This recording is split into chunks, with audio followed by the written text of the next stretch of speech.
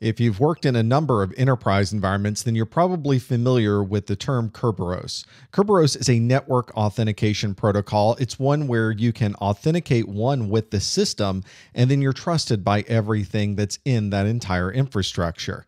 The idea is that you're being able to authenticate with a central server and then also authenticate with everything else. But not only are you authenticating yourself to the server, you can also be assured that you are talking directly to the server server. So there's mutual authentication here.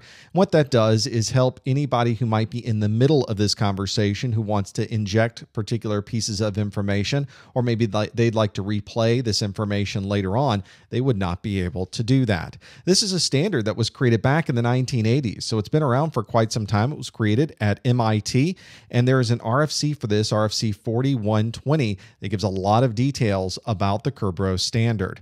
Microsoft started using Kerberos with Windows Windows 2000 and they use Kerberos 5.0, which is an open standard. This makes it very easy also for other operating systems to be able to authenticate into these same Kerberos based environments. So even if you have Linux or you have Mac OS 10, it doesn't matter. Everybody ideally can talk back to this central Kerberos system and be able to authenticate onto the network. Kerberos or Cerberus is a mythological creature. This is the three headed dog of the underworld. Its job was to keep people from escaping across the river Styx, and a three headed dog would certainly do that for me. But it had three heads for a reason. There's a reason we call this Kerberos, and that's because there are three components to this. One is that you have a key distribution center. You'll often see this referred to as a KDC. This is something that is vouching for the user's identity. We're providing username, password, and other authentication information. And we're getting tickets that we can use later on. We're going to go through that process. This runs either on TCP port 88, most commonly. You could see it on UDP port 88 as well. The second head of the three headed dog is the authentication service, which does exactly that. It authenticates us and provides us access to the network. And the last head is the ticket granting service that provides us with tickets. In Kerberos, tickets is a pretty important thing. You're given tickets that will gain you access to resources on the network. Before you can gain access to resources, you first have to authenticate yourself with the Key Distribution Center. This is the authentication service that's going to provide us with everything we need to gain access to other resources. And this is a two step process. We'll start down here with our device, our client, our principal, we call it, and it's going to talk directly to the Key Distribution Center up here. There's an application server down here that we would like to access, but we're not able to do that yet until we complete this authentication process. So we're going to send a logon request from our device to the key distribution center. And we're going to send this encrypted with the date and time on the local computer. And we're going to use our password hash as the key. Now, we don't send the hash to the key distribution center. This authentication service that's up here already has our password. So it knows what it should be expecting to use as that key. And the next process, it's going to take advantage of that. But it's important to know that this entire process is encrypted and it's very, very secure. When the key distribution center receives this encrypted package, that's the authentication request, it decrypts it with what it knows to be the client's password hash, has a look at it, and it makes sure that the time frame that was encrypted in there is somewhere within a five minute period. So this is very time sensitive. Inside of that, it checks and makes sure, and if that's all legitimate, it sends back what is called a ticket granting ticket. Sort of an odd name. It's a ticket that's going to allow you to get other tickets. So, pretty important ticket. In that ticket, it's going to have a client name, an IP address, some timestamp information, and a validity period so that this is only going to be good for a certain amount of time. After that, you'll have to re authenticate to the network. This is also encrypted. You can see there's a key associated with this. It is encrypted with a secret key for the key distribution center, which means the client here is not going to be able to decrypt this. This is pretty important because we want to be sure if we're going to authenticate to a third party, that our authentication is going to be trusted. And if we know the key distribution center is the thing that has the private key, and that's the only thing that has that private key, we can be assured that that particular piece of information is going to be well protected when we present it to our application server. Another piece of information that we get when we authenticate to the key distribution center is a ticket granting service session key. And this is used to encrypt the communication between our ticket granting service that's up here and our client. And we're going to use that session service key again. That will be very useful. Again, every part of this process is encrypted. And in this way, we can be assured that nobody's able to look into what's going on, nobody's able to break open some packets and see information we may be authenticating, usernames, password, or anything else that might be in here.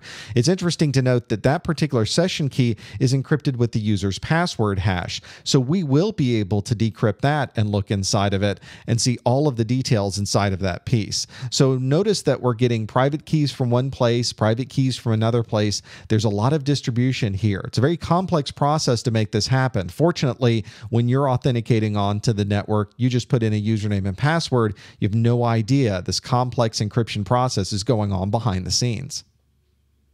Now that I have been authenticated, I would like to be able to communicate and use some resources on the network. Specifically, be great if I could use this application server down here. But I've never spoken to the application server. The application server itself is not communicated to the ticket granting service.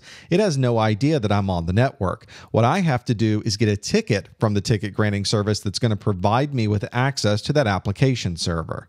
The first step we'll do is from our client workstation. I've got that encrypted ticket granting ticket. And I'm going to attach to that the name of the service that I'd like. And I'm going to send that to the ticket granting service. And I'm going to also send a timestamped client ID that I've encrypted with my session key. Again, we've got all this encryption that's taking place, and the ticket granting service can certainly decrypt its own ticket. And since it knows the hash that I'm using as my password, it can also decrypt the TGS session key as well. If this set of information that we provided to our ticket granting service looks good, then we're going to get a couple of things back from the ticket granting service. The first one is a service session key that we'll be able to use with the application server. This is a key and information that is encrypted with the session key that we know about. So we'll be able to look at that information once we receive it off of the network. We're also going to get a ticket, and this particular ticket is one that is going to have user information and session information key, and it's going to be encrypted with a private key from the application server's secret key. So this is a secret key that only the key distribution server and the application server know about. I don't have any access to that private key. So therefore, I'm not going to be able to decrypt that information and see what's inside of it. It's going to be protected. And in our next step, we're going to provide that to our application server. And that's why it's so important that that information stay absolutely private. And that's exactly what we're going to do in our next step. We're finally going to talk to our application server and we're going to send along that private package that we received from our key granting service. This is our encrypted service ticket. And it's going to be encrypted with that private key that we know nothing about. So we want to be sure we're providing exactly the same key to the application server. We're also going to provide an authenticator. It's going to have a timestamp in it and it's going to be encrypted with our service session key that we got. That way we're able to send all of this encrypted information and on the other side, our application server should be able to see all of this. Our application server is going to look at this service ticket that was provided to us that was encrypted and we couldn't look inside of it. So it's now finally going to decrypt it with its private key and make sure the information in there looks okay. It's also going to look at the authenticator we sent it, make sure that the session key that we had with our passwords on it matches what the application server would be expecting with that.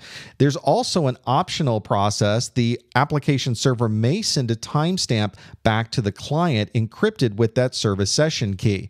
And because we're sending that information back now, we are really checking to see if there's a man in the middle. We want to prevent anybody from sitting in the middle and looking at this information. We also want to be sure that nobody can replay this information later to try to gain access to these resources.